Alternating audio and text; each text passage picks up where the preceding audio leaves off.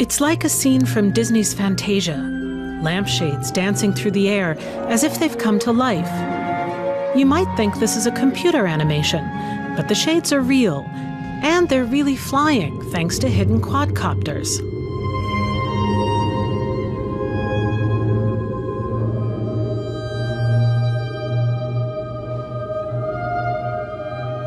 The drones were programmed at the ETH University in Zurich.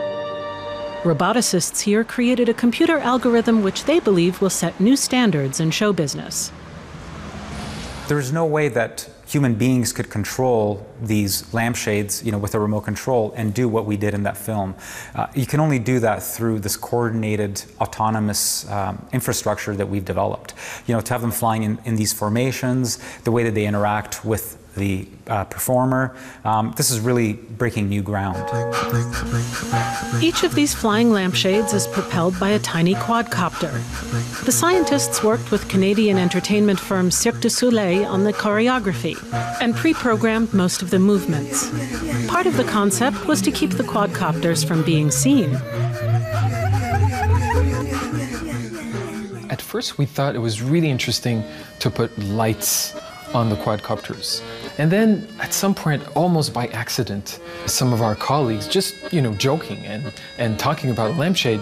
And I just, that made me stop in my tracks and I thought, wait a minute, did you say lampshade? Well, that could be really interesting. What if we had a number of lampshades starting to fly? They choreographed and filmed the video in a special rehearsal room. The programming of the drones took two weeks, while many of their movements are determined in advance, the algorithm permits autonomous behavior, for instance, allowing the drones to move to prevent a collision. Using infrared cameras, a computer tracks the positions of the drones, which are connected with one another via Wi Fi. This researcher monitors the activity. There are several challenges. One of them is that you have to control many of them together, so you're actually looking for quite complex solutions that include all of the quadrocopters together. What you're seeing right now in the background is not pre-computed. Every time the quadrocopters are moving, the computer keeps planning new trajectories so that they will not collide when they're moving to the next point. The sky seems to be the limit when it comes to finding new uses for quadcopters. Here, researchers show that their flying robots can play badminton against a human or even against each other.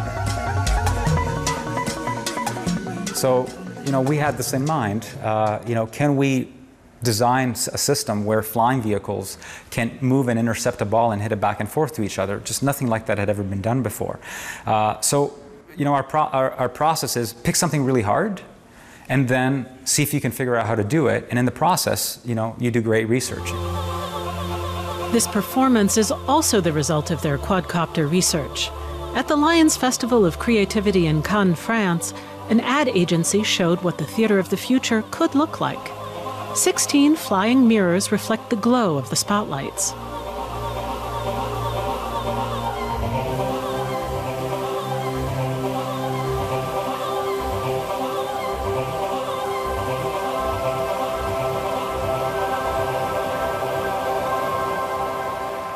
Basically, you want to be able to have access in three dimensions to space.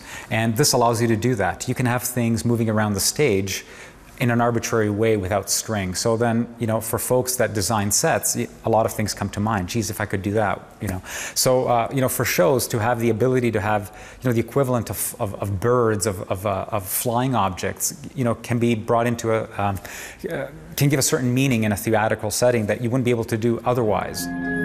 What scientists are aiming for is to make tomorrow's entertainment today.